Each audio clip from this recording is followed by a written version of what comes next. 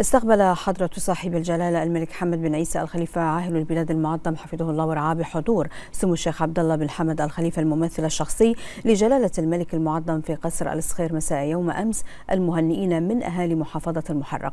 بمناسبة شهر رمضان المبارك في إطار اللقاءات التي يحرص جلالته على عقدها مع رجالات البحرين الكرام في هذا الشهر الفضيل.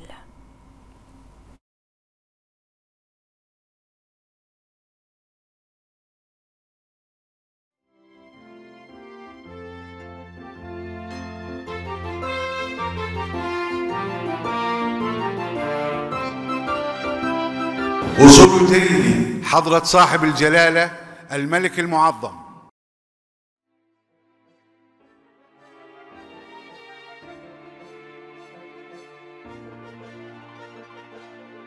السلام عليكم. السلام عليكم.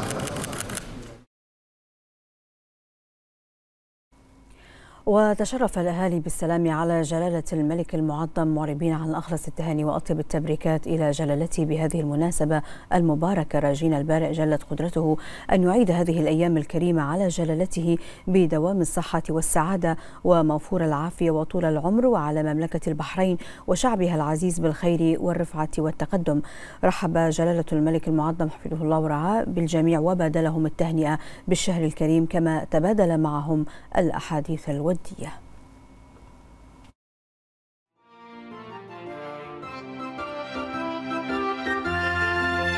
بسم الله الرحمن الرحيم. سيدي حضرة صاحب الجلالة الملك حمد بن عيسى آل خليفة ملك البلاد المعظم حفظه الله ورعاه. أصحاب السمو أصحاب المعالي والسعادة أيها السيدات والسادة السلام عليكم ورحمة الله تعالى وبركاته وكل عام وأنتم بخير بمناسبة حلول شهر رمضان المبارك. خير ما نبدأ به تلاوة عطرة من القرآن الكريم يتلوها على مسامعنا القارئ علي صلاح عمر. أعوذ بالله من الشيطان الرجيم. بسم الله الرحمن الرحيم. والذين آمنوا وعملوا الصالحات سندخلهم جنات تجري من تحتها الأنهار تجري من تحتها الأنهار خالدين فيها أبداً. وعد الله حقا ومن أصدق من الله قيلا. ليس بأمانيكم ولا أماني أهل الكتاب. من يعمل سوءا يجز به. ولا يجد له من دون الله وليا ولا نصيرا. ومن يعمل من الصالحات من ذكر أو أنثى وهو مؤمن فأولئك يدخلون الجنة. ولا يظلمون نقيرا ومن أحسن دينا ممن أسلم وجهه لله وهو محسن واتبع ملة إبراهيم حنيفا واتخذ الله إبراهيم خليلا ولله ما في السماوات وما في الأرض وكان الله بكل شيء محيطا. صدق الله العظيم. بارك الله فيكم.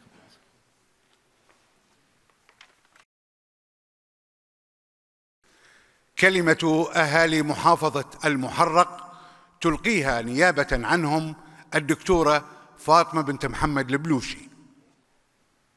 بسم الله الرحمن الرحيم. الحمد لله والصلاة والسلام على رسول الله وعلى آله وصحبه أجمعين. حضرة صاحب الجلالة الملك حمد بن عيسى آل خليفة ملك البلاد المعظم حفظكم الله ورعاكم. أصحاب السمو أصحاب المعالي والسعادة السلام عليكم ورحمة الله وبركاته. يشرفني يا صاحب الجلالة أن أقف بين يديكم حفظكم الله في هذا اليوم من الشهر الفضيل نيابة عن أهالي محافظة المحرق لكي أنقل تهنئتهم بمناسبة شهر رمضان المبارك وتجديد البيعة والولاء لجلالتكم. سائلين المولى عز وجل أن يعيد عليكم وعلى العائلة المالكة الكريمة وعلى شعب البحرين الوفي هذه المناسبة المباركة أعواما عديدة. صاحب الجلالة إن أهالي محافظة المحرق كعادتهم دائما باقون على العهد الذي ورثوه عن آبائهم وأجدادهم الأولين وما سطروه من تضحيات وما تميزوا به من ولاء وتعاضد مع حكام آل خليفة الكرام على مر العصور. وهذا ما توارثته مختلف الأجيال وحرصت على استمراره. وفي ذات الوقت يستذكرون ما تحقق من إنجازات خلال الخمسة والعشرين عاما من عهدكم الزاهر. ويثمنون عاليا ما وصلت إليه مملكتنا الغالية من مكانة على المستوى المحلي والإقليمي والدولي. صاحب الجلالة الحضور الكرام إن المحرق جامعة ذات تخصصات متنوعة وشاملة تخرج فيها الكثير من الكفاءات البحرينية الذين تربوا على الوفاء والولاء للقيادة والوطن بالإضافة إلى ما تميز به رجالات المحرق من مهارات وإبداعات في مختلف التخصصات. فالمحرق هي أم المدن والمدرسة الوطنية كما أطلقتم عليها حفظكم الله. وهي عاصمة الثقافة والتعليم والرياضة والفن. وتقف منارات مساجدها وقصورها وهندسة بيوتها وطرقاتها ومدارسها شامخة. تحكي قصص تلك الأجيال الوفية المتحابة التي عشقت تراب الوطن ودافعت عنه في مختلف الظروف ضاربة بذلك أروع الأمثلة لوفاء الإنسان البحريني وإخلاصه لقيادته ووطنه. وكل شبر في المحرق يحكي قصة من قصص الإبداع والنخوه العربية المتأصلة في نفوس قاطنيها. ويشرفنا نحن في محافظة المحرق أن نفتخر ونعتز بأمر جلالتكم السامي بالمحافظة على الهوية التاريخية والثقافية لمباني ومدن البحرين. ويأتي في طليعتها إحياء قصر عيسى الكبير الذي ستعتمدونه بإذن الله كأحد المقار الرئيسة لجلالتكم. ومعه إعادة تأهيل الأحياء المعروفة بمدينة المحرق التي تتطلعون حفظكم الله إلى عودة أهاليها إليها. تكريما لذلك المجد الوطني المشهود في وطن الطيبة والكرامة. تلك الأوامر السامية التي أفرحت قلوب رجالات المحرق ونسائها كبارها وصغارها حيث ستستعيد من خلالها المحرق منارتها الشامخه في الريادة والتقدم وتشرفها بمقدم جلالتكم إلى العاصمة القديمة ومهد العلم والتعليم. صاحب الجلالة نرفع إليكم باسم الأهالي الشكر العظيم على المنجزات والمشاريع التي تحققت على أرض محافظة المحرق. فمن جامع الشيخ حمد إلى كافة دور العبادة التي تلقى كل الرعاية والاهتمام من لدنكم إلى المشاريع والخدمات الإسكانية التي طالت الجميع وأيضا إنشاء الحدائق والمنتزهات والطريق الدائري الجديد وفرحتنا بالمعلم الحضاري والاقتصادي المتمثل بمطار البحرين الدولي والذي ستكتمل الصورة الجميلة له بافتتاح الصالة الملكية الجديدة. وساحل قلالي الذي يعتبر من المشاريع السياحية والخدمية المتميزة. وكذلك مسار اللؤلؤ الذي يقف شاهدا على عراقة وتراث البحرين والمزيد من المشاريع التنموية المتميزة التي يقوم بها القطاع الخاص والأهلي لتكون المحرق درة بين المدن ونموذج يحتذى به. وعلى صعيد مملكة البحرين فقد حصلت طفرة كبيرة خلال الخمسة والعشرين عاماً من عهد جلالتكم على كافة الأصعدة وعلى الأخص في مجال حقوق الإنسان. فبتوجيهاتكم انضمت المملكة إلى العديد من الاتفاقيات الدولية ذات العلاقة بحقوق الإنسان. وتبعاً لذلك أنشئت العديد من الآليات الوطنية مثل المؤسسة الوطنية لحقوق الإنسان ومفوضية حقوق السجناء والمحتجزين والأمانة العامة للتظلمات ووحدة التحقيق الخاصة بالإضافة إلى إصدار تشريعات جديدة كقانون العقوبات والتدابير البديلة وقانون العدالة الإصلاحية.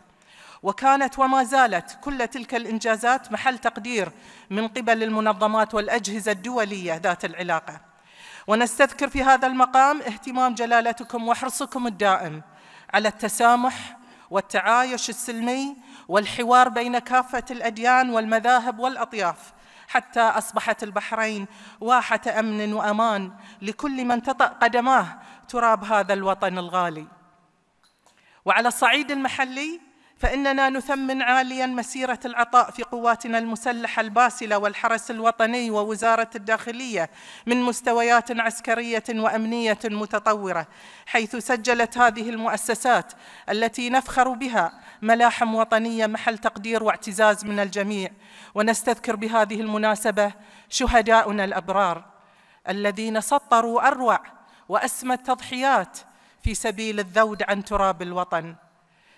وفي مجال التنمية المستدامة لابد من الإشارة إلى ما تحقق من إنجازات في كافة المجالات تحقيقا لرؤية البحرين 2030 ومن ضمن ذلك ما تحقق من تطوير واضح في مجال التعليم والصحة وفي مجال العمل والاقتصاد والتنمية الاجتماعية وفي البيئة والإسكان والقضاء ومختلف الخدمات المقدمة للمواطنين. ونالت المرأة البحرينية نصيبها الكبير في مختلف القطاعات. فبفضل دعم جلالتكم ورعاية صاحبة السمو الملكي الأميرة سبيكة بنت إبراهيم آل خليفة قرينة جلالتكم رئيسة المجلس الأعلى للمرأة حيث تبوأت المرأة البحرينية العديد من المناصب العليا محليا ودوليا لتساهم بما لديها من علم ومعرفة وإخلاص في بناء الوطن والرقي به في أعلى المراتب. إننا ومن خلال تشرفنا بهذا اللقاء حفظكم الله نشيد ونعرب عن اعتزازنا بالدور الكبير لصاحب السمو الملكي الأمير سلمان بن حمد آل خليفة ولي العهد رئيس مجلس الوزراء. حفظه الله في نهج الحكومة الموقرة وسياساتها الحكيمة في تحقيق التوازن في المجال الاقتصادي وتنفيذ المشاريع التنموية وقيادة سموه وحكمته المتميزة في إدارة الحكومة الموقرة على كافة الصعد.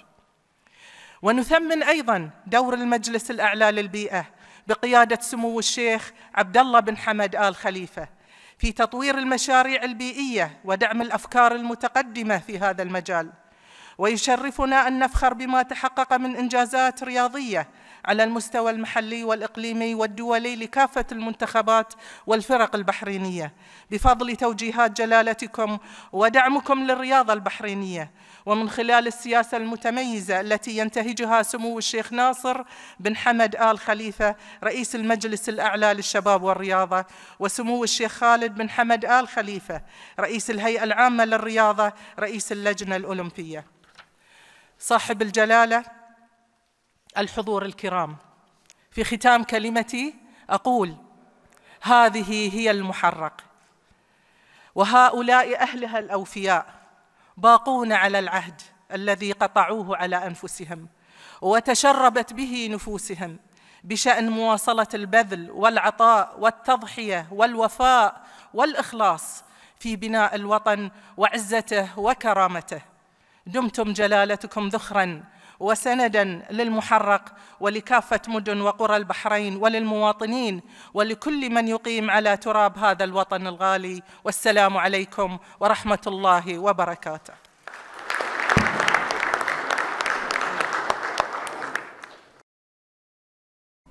وقد تلقى جلالة الملك المعظم هدية تذكارية بهذه المناسبة.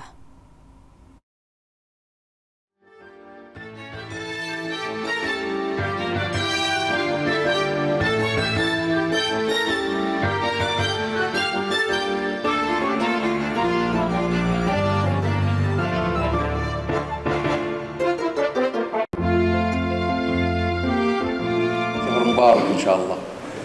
كل عام وأنتم بخير. حكاية الحرة غالية وعزيزة علينا. تشهد نمو بعد آخر في السنوات القادمة القليلة مو بالكثيرة القليل لأنها تستاهل وتستحق.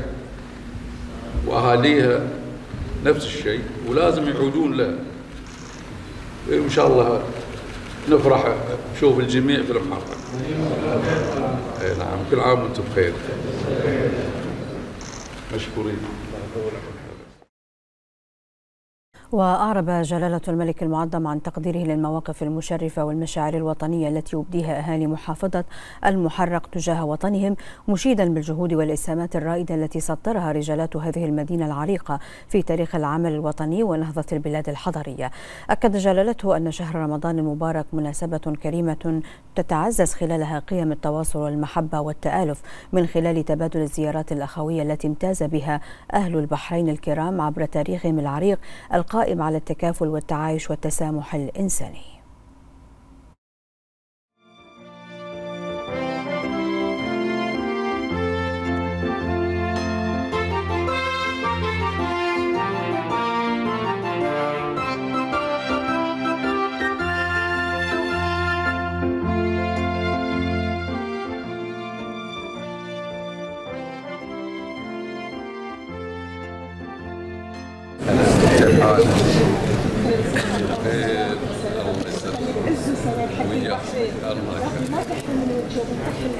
الله يخليك.